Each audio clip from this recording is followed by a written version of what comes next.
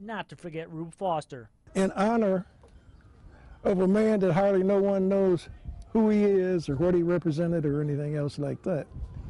And he's really the father of black baseball. Andrew Bishop Foster was born to two former slaves turned sharecroppers, Andrew and Eveline Foster, on September 17, 1879, in southern Texas. Both of Foster's parents worked at a Methodist church as a preacher and the First Lady. Foster and his siblings were a part of the first free black generation after the Jim Crow era. However, only Rube and his two siblings, Christiana, born 1877, and Johnson, born 1884, survived until adulthood out of six children due to tuberculosis.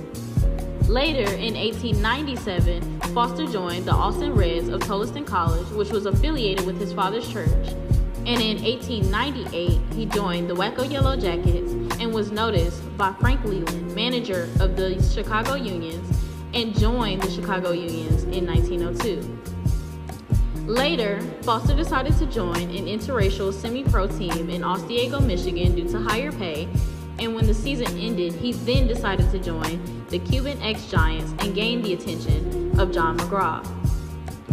Foster was most famously known for teaching Christy Mathewson the fadeaway pitch, defeating Rube Waddell, whom he got his nickname from, and becoming the founder of the Negro National League because of all his outfield position and playing skills, specifically in 1905.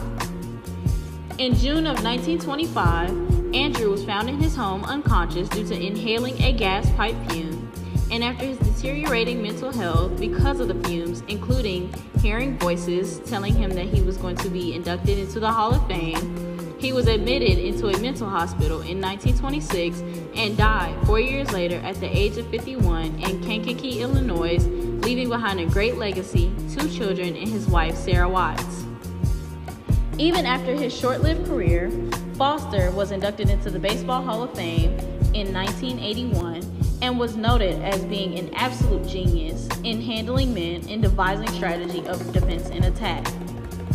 Foster has contributed to a lot of success that is found within the National Baseball League and gave rise to a whole new meaning to putting your all into a sport.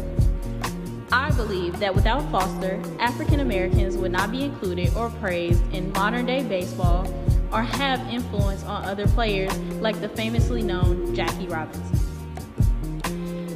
Foster has been given praise for being the first baseball manager that was black, the first big pitcher that was black, and many more, and has gained the nickname of the father of Negro baseball, which in turn and unfortunately died with him.